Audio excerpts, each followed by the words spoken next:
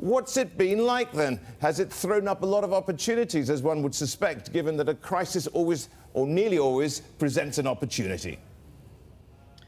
Well, thank you, uh, Rishaad, uh, Yvonne, and David. Great to be here. Um, I hope you and your viewers are all keeping well and staying safe. Uh, you know, to your question, uh, we see significant opportunity for private equity across the region. Uh, to provide you with some context, uh, Asia represents approximately 30% of the global economy and nearly 50% of global growth. Uh, in 2020 alone, the region saw a GDP of about $25 trillion.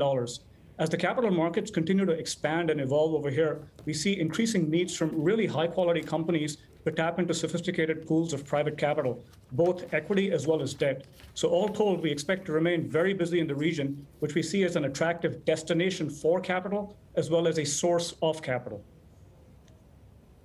Uh, Vikram, I, I, want to get a sense of you know how you can add a value. Often, private equity groups are seen as as asset strippers and ones which essentially whittle down companies and then float them on the market for a nice, tidy profit. But you say that you're creating value and you're creating opportunities and you're there for good in some ways. Give us a sense of what, where you're coming from. Sure. So, you know, to your question, uh, traditionally there have been three broad ways for private equity to create value. These include financial leverage, multiple expansion, and operational improvements in the world that we live in and consistent with Carlyle's philosophy, you know, we're, we're faced with a situation where we have low interest rates, high valuations, and global growth. We really need to focus on helping our portfolio companies grow. So how do we do this? We focus on the operational efficiencies that enable our companies to expand and grow their top line revenues through our global network, benefit from cost efficiencies, and thereby expand their profit margins. I wanted to get then your thoughts on, since we're talking valuations here, David here, by the way, you know, I mean, not that the public and private markets move exactly in lockstep one to one, but typically when you do see, you know, parts of the public market, particularly tech and growth, see a step back in terms of valuations. We've seen that, of course, in some parts of the Asian equity market. Uh, that tends to have an effect on valuations further down into the private markets. I just want to get your views uh, on, on where you think valuations are right now in the private equity space, particularly those closer, uh, much closer to exits? Sure. Uh, you know, that's a key question and something we think about uh, a lot at Carlyle. Uh, I guess the first thing to say is it's worth mentioning that we maintain a long-term view uh, on our investment activity, both globally as well mm. as here in Asia. So it's not like we're worried about what's going to happen on a day-to-day basis as much as you know trying to find right. good companies at reasonable valuations where we can really contribute our expertise and help them grow again with operational efficiencies. So what's important to us is we find the right sectors, the right industries, and the kind of things that we really like in Asia are, are, things like technology and business services, healthcare, as well as consumer media and retail. You know, as the long-term trajectory is one which is favorable and continues to grow, you know, that's what we really want to focus on. We believe it's going to create opportunity for all of us, and that includes your industry and the media sector as well. Vikram, you mentioned about technology. I'm not going to ask you about the politics regarding this regulatory crackdown in China, but what is your overall risk tolerance for tech now? Sure. Well, technology is a space that Carlyle has been pretty active in historically. We continue to maintain an active portfolio uh, globally and uh, also here in Asia. Uh, we do like technology. We, we pay close attention to a few things. Valuation, to the question which was asked earlier, is, is a key factor. But what we really want to do is find good companies, you know, which show potential for consistent growth. You know, we realize that you know, there might be ups and downs, and uh, you know, there, there, might be times when there are certain disruptions in the public markets which might flow through to the technology aspects of the uh, the private markets. But over time, we think uh, you know this is a good space to be, and we uh, anticipate will continue to be active here. You know, we're active in technology in Asia. We have a sizable technology portfolio in America and in Europe as well. Tell us a little bit more about the dislocations that you're seeing uh, post COVID uh, as we emerge out of this pandemic here. You mentioned there is a difference between liquidity and solvency. How is it different from what we saw back in the global financial crisis and, and currently how we are now?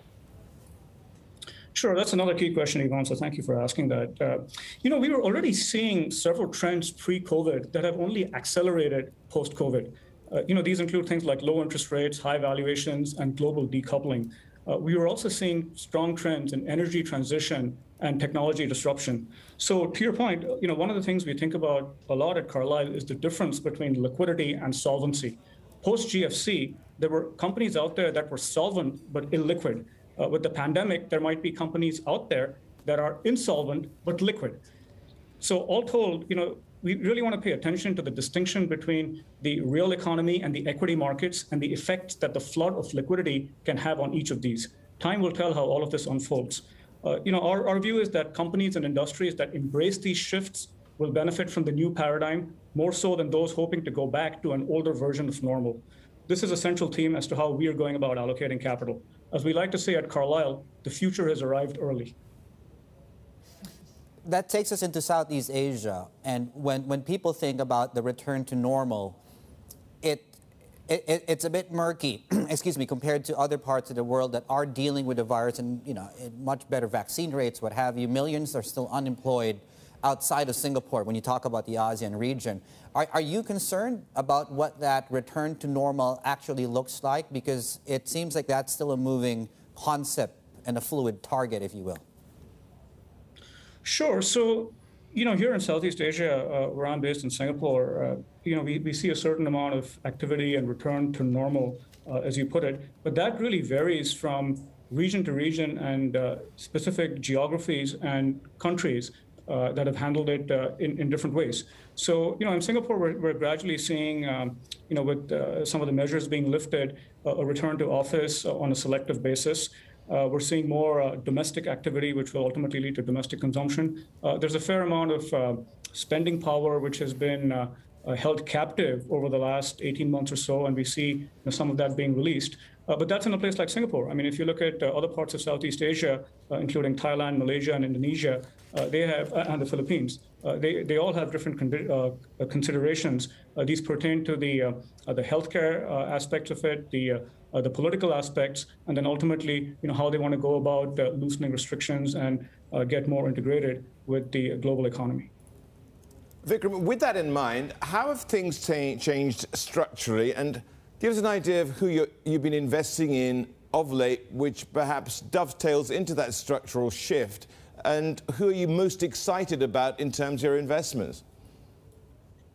Sure. So, you know, the, the kind of companies that uh, we like, the sectors that we like, which I can talk about more thematically, uh, you know, remain in uh, in technology and business services, where we see a lot of activity. Healthcare, you know, we think will continue to be uh, an attractive space, particularly with what we've ex- we've all experienced uh, as a result of the pandemic. I think the need for uh, finding high quality companies and assets in that space will be will remain prevalent.